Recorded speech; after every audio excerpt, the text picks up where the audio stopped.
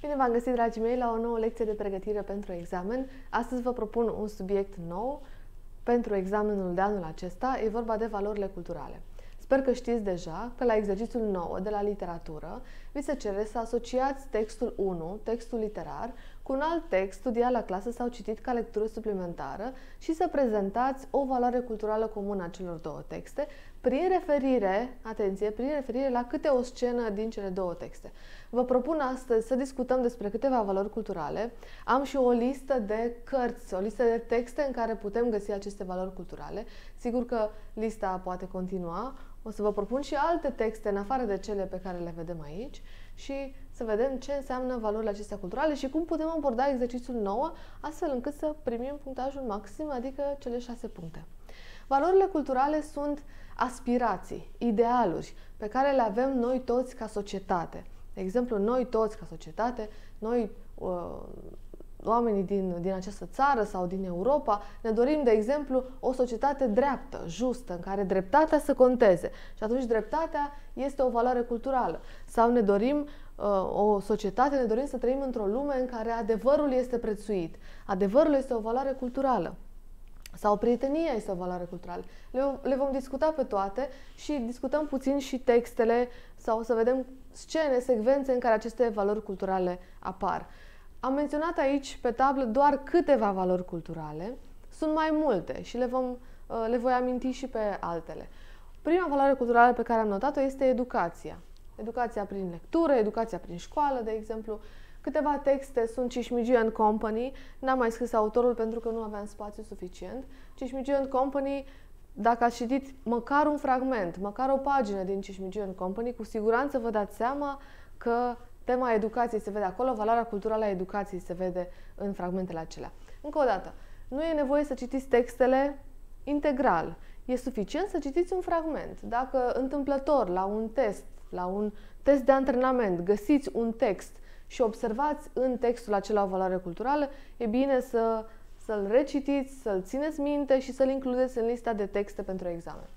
Deci, educația apare în Cismigiu Company, Matilda, dar și o mulțime de alte texte. Sunt convinsă că știți o mulțime de texte despre școală, despre elevi la școală, uh, despre profesor, relația uh, părinți, elevi, profesori.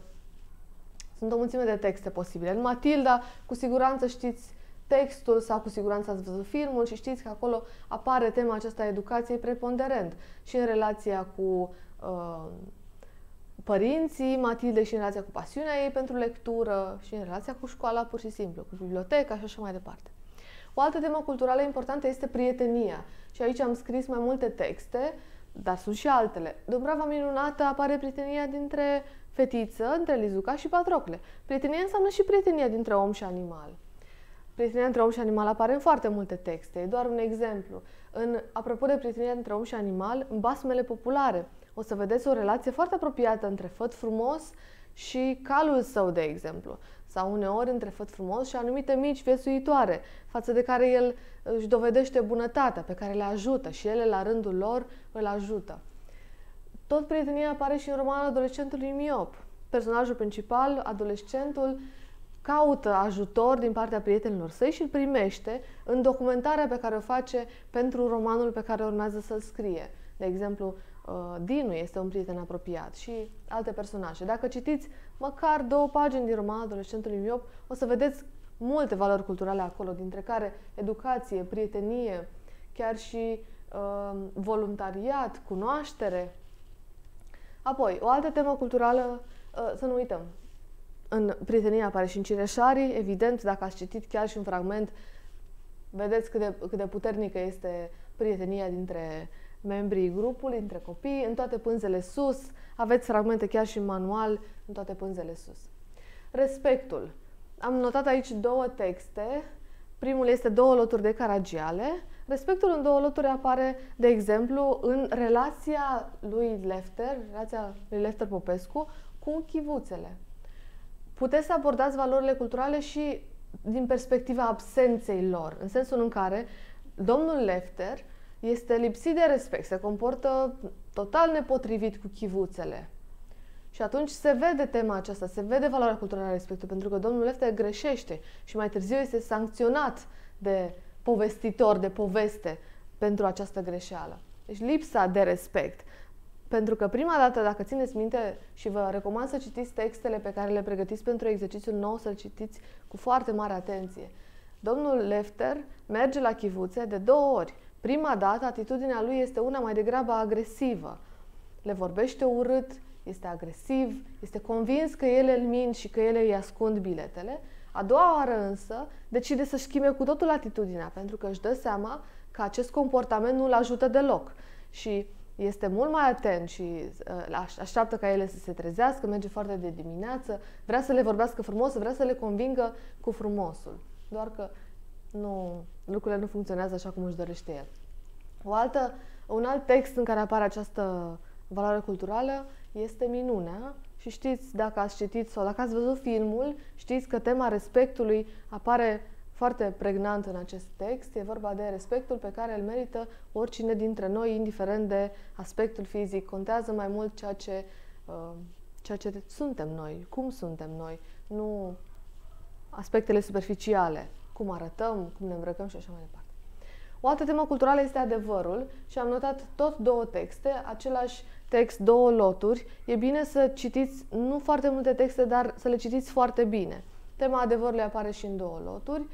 Uh, apare și într-o scrisoare pierdută, este un alt text de Caragiale, este o comedie foarte interesantă și pe care o veți studia și mai târziu. Dacă vreți și dacă vi se pare un subiect interesant, o puteți și urmări. Există o înregistrare a unei, um, a unei puneri în scenă a textului foarte frumoasă. O găsiți și e, e extraordinar de, de bine realizată din 1982. O altă temă, o altă valoare culturală este familia și am notat aici câteva texte. Mara de Ioan Slavici este un roman. La fel, dacă citiți câteva fragmente, veți vedea tema aceasta familiei. Mara este o mamă foarte uh, devotată. Pentru ea contează cel mai mult să aibă o relație bună cu copiii ei și depune toată energia și toate eforturile să se asigure că ea și copiii ei au un viitor bun. Ea este mai degrabă tipul avarului, adică ea adună foarte mulți bani, dar nu adună pentru ea însăși, ci pentru copiii ei. Adună bani pentru zile negre. Popa Tanda, un alt text, o novelă de slavici pe care unii dintre voi a studiat-o și la clasă. Se vede acolo tema familiei și pe parcursul textului, dar și în final, mai ales în ultimele, în ultimul capitol al uh, novelei, ultima secvență. Olguța și un bunic de milioane este un text de Alex Moldovan, un roman foarte frumos. Vă recomand spre lectură. Olguța este un personaj foarte interesant și veți găsi acolo mai multe valori culturale, nu doar familia. Dreptatea, am scris două texte de Caragiale, două titluri, Lanțul slăbiciunilor și bacalaureat, iarăși două texte foarte interesante. Și vedeți aici, ca și dincolo, ca și la respect, mai degrabă lipsa dreptății. Și faptul că autorul, prin aceste texte, sancționează um, nedreptatea, uh, faptele imorale. De exemplu, în bacalaureat, vedem că se cere, se discută mărirea notei unui elev, mărirea uh, incorrectă a notei unui elev la bacalaureat pentru a intra la facultatea de drept. Deși, vedeți ironia aici, elevul vrea să intre la facultatea de drept, vrea să, să, să termine liceul, să-și continue studiile, dar el nu a obținut nota potrivită la disciplina morală. Foarte interesant textul, e un text scurt și uh, ne învață multe. Ne învață multe în general și ne învață multe despre valoarea aceasta culturală de dreptate. Voluntariatul, am notat aici textul de mai departe. Sunt mai multe texte. De mai departe este un, uh, un text, uh, o găsiți în, e o, e o traducere, nu e un text românesc. Foarte interesantă ideea, ideea de a face bine, de a face fapte bune, de dragul de a trăi într-o lume mai bună. Apoi, cunoașterea. Cunoașterea în sensul de cunoașterea lumii, cunoașterea de, de, de știință, cunoașterea oamenilor. Da, nu în sensul de cunoaștere să cunoști pe cineva, ci cunoaștere, în sensul de um, knowledge. De exemplu, Matilda, am notat iarăși tema educației apărea acolo, dar și cunoașterea, Framursul polar, Micul prinț, sunt feluri diferite de cunoaștere în toate aceste texte. Cunoașterea apare, de exemplu, și în romanul adolescentului miop, pentru că, uh, dacă vă amintiți, adolescentul, tânărul vrea să se documenteze și vrea să devină un autor. și ia foarte în serios rolul acesta de scriitor și atunci se documentează și documentarea poate fi asociată cu cunoașterea. Găsiți mai multe valori culturale în același text, chiar în același fragment de text. Și recomandarea mea este ca, începând de acum, nu e târziu, aveți suficient timp la dispoziție, să realizați un dosar pentru exercițiul acesta, un dosar de lecturi și să includeți în acest dosar valori culturale și texte pentru fiecare valoare culturală. Mai important decât orice este să aveți texte, fragmente de text. Nu e nevoie să citiți romane întregi, să citiți Mara, un roman care are peste 100 de pagini, ci e suficient să citiți câteva pagini. Și paginile acelea trebuie să le știți foarte bine, să le citiți cu mare, mare atenție, nu o dată, nu de două ori, de suficiente ori, astfel încât să cunoașteți textul în profunzime. La fel, nu e nevoie să știți 10 basme populare. Dacă știți două, trei basme populare, și aici v-aș recomanda, nu am notat titluri, dar vi le puteți nota voi acum, v-aș recomanda Prânz la cel voinic și Merele de Aur. Iarăși, în basme se văd foarte, foarte multe teme, foarte multe valori culturale.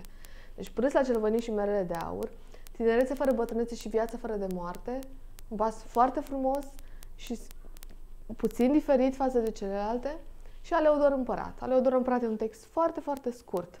Basmele populare prezintă multe valori culturale și le puteți folosi. Le citiți cu atenție și le includeți în lista, în dosarul de lecturi.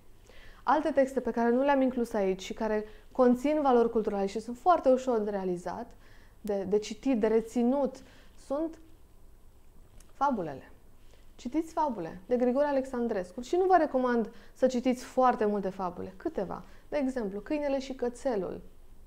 Unii dintre voi poate l-a studiat chiar la clasă. Sau Șoarecele și pisica. Sunt texte foarte scurte, de o pagină.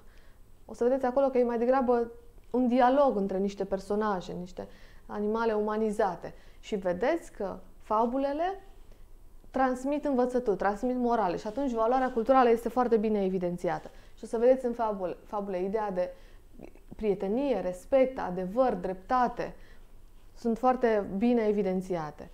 Încă o dată, vă faceți un dosar de lecturi, e foarte important, în care să includeți fragmente de text. Nu e nevoie să citiți textele integral. Textele acestea, eu v-am propus o serie de texte, dar evident puteți să citiți și alte, să propuneți și alte texte. Nu e nevoie să veniți cu idei extraordinare. Trebuie să răspundeți corect la cerință și să demonstrați, mai important decât orice, înțelegerea profundă a textului. Adică să nu dați un răspuns superficial. De exemplu, dacă mă refer la, să spunem, uh, tema prieteniei. La tema prieteniei și mă refer la Dumbrava minunată.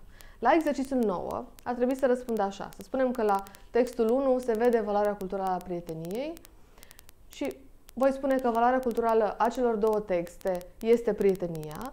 În Dumbrava minunată, prietenia se vede, de exemplu, în momentul în care Lizuca și Patrocle rămân singuri în pădure, Lizuca găsește un adăpost într-o scorbură de răchită, vedeți, dau detalii, într-o scorbură de răchită, cei doi încearcă să se odihnească și la un moment dat Lizuca îi spune lui Patrocle, îi mărturisește, că ei nu este frică decât de bursuc. Vede o umbră, Lizuca se sperie foarte tare crezând că e bursucul, iar Patrocle, pentru că e un prieten foarte bun și pentru că o încurajează și pentru că o susține și pentru că este mereu alături de Lizuca, sperie, latră către umbră, sperie umbra și uh, fuge. Și atunci Lizuca se simte mai bine. Și se vede aici apropierea dintre cei doi. Vedeți? Când am răspuns la exercițiul 9, am folosit detalii. Demonstrez că știu textul foarte bine. Asta trebuie să faceți și voi. Pe lângă textele acestea, trebuie să vă pregătiți în dosarul de lecturi, adică pe lângă valorile culturale pe care să le puneți în evidență prin fragmente de text și să nu uit. Sunt, sunt convinsă că mulți dintre voi ați rezolvat multe teste de antrenament. Nu lăsați textele pe care le-ați citit la testele de antrenament să dispară. Includeți-le și pe acelea în dosarul de lecturi. Pentru că sunt texte pe care le-ați citit cu atenție, texte pe care le-ați discutat, fragmente de text. Și atunci puteți să faceți referire și la ele.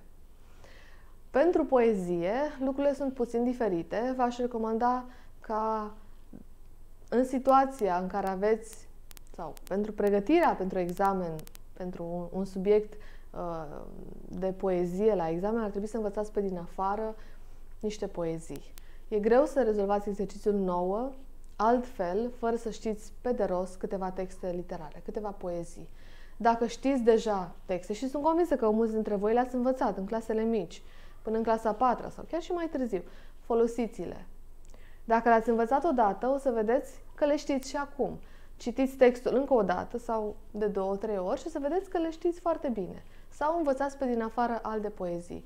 Sunt foarte frumoase, foarte ușor de învățat poeziile Magdei Isanos. Dacă vreți, voi face o listă de poezii pe care le puteți învăța pentru examen.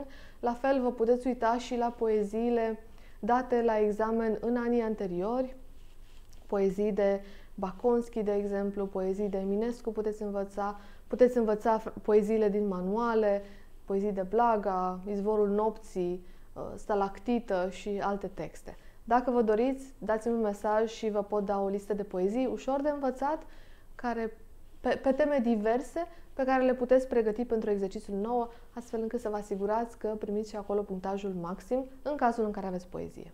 Dacă e vorba de text epic sau de text dramatic, puteți să folosiți aceste sugestii sau puteți să alegeți voi alte fragmente de text. Sper că vă ajută această discuție. Dacă mai aveți întrebări sau propuneri pentru lecții, le aștept cu mare, mare drag și vă doresc mult succes mai departe în pregătirea pentru examen.